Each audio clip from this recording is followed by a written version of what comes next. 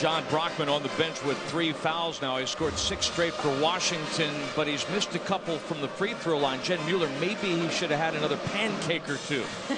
Yeah, Brian, you know how you're supposed to carbo load before big games, you know? so yesterday we took him over to Portage Bay Cafe, and Jon once told me he ate 25 pancakes in one sitting. Now, they weren't that size, but that's what 25 pancakes look like. And he dug in.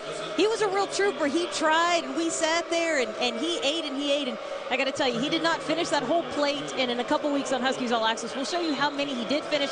There was a little controversy in there, but I got to tell you, the big man can put it away. My gosh, they brought out a mixing bowl full of butter.